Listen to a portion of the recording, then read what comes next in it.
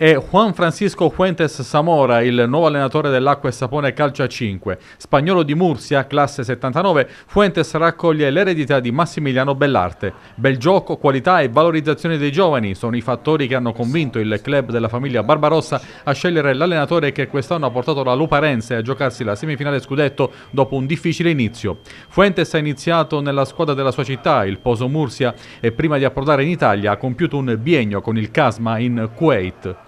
Sono molto contento di arrivare a, a questa società, eh, aspetto eh, stare al, al, al, livello che questa società me, merece perché stanno facendo un, un sforzo grande per, per, il calcio a 5, de, già con, con, sei anni fa, stanno eh, lavorando con, con queste sport e per me è un'opportunità eh, molto grande y aspetto eh, approfittare al massimo e, e apportare il, il, mio conoscimento, la mia, la mia esperienza eh, para che questa società continui crescendo e che arrivi al massimo possibile. È soddisfatto Fuentes del roster che sta nascendo con l'acqua e sapone che dopo aver confermato tre assi come Murilo, Jonas e Mamarella ha messo sotto contratto De Oliveira, Romano e il capitano azzurro Gabriel Lima. La società sta facendo un sforzo per, per fare una, una, buona squadra, eh, per illusionare a, a tutti, eh, ai tifosi,